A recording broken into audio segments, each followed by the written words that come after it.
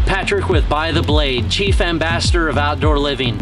Today we're back at our design studio talking to you about fire pits. Fire pits are a great opportunity to build memories with your friends and family on those cool evenings. Fire pits come in so many different shapes and sizes and functionality, whether they're natural gas like you see here or wood burning.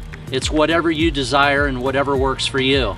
Natural gas is easy, doesn't smoke, but wood burning is so much more fun. Whatever you want to do, you can do it at your house, whether you purchase one or have one built in like you see here. There's so many different options, sizes. You can do it on your own or give us a call and we'd love to help you out. We're out back at the design studio talking to you about a wood burning fire pit. Golden's cast iron is a favorite of By the Blade. They're well built, been around since the early 1800s, actually used during the Civil War for cooking. They're durable, they create a great fire feature in your backyard. They can be freestanding or surrounded with stone, offered in two options. We love them.